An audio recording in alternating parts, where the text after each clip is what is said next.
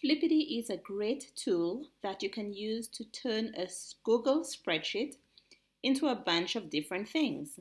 You could create flashcards, a quiz show, hangman, spelling words, a random name picker, a certificate, Mad Libs, progress indicators, badge tracker, or mix and match.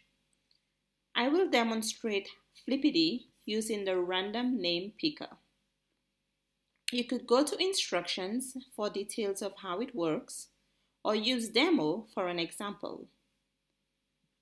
Press template to create a random name picker with Flippity. This opens up a spreadsheet. You have to make a copy of the template. Once that is done, you will have a chance to put in the names of the students in your class. I will leave the names as they are right now for demonstration purposes. Once you've done this, you go to add-ons, get add-ons, and find Flippity. Add it to Google Spreadsheets. Once that's done, again you can go to add-ons and Flippity will be an option. Now go to add-ons, Flippity, pick a template.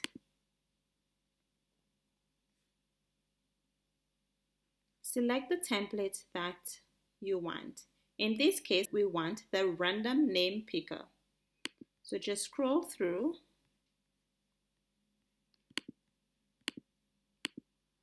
until you find the template that you want and click on use. This gives you a URL that you will use for running the script. I'm going to open this link in a new tab for demonstration. Now if I go to that tab, you will see that I can click on a number of different options. I can select a single name or I could create groups or teams. I can even make a sitting chart.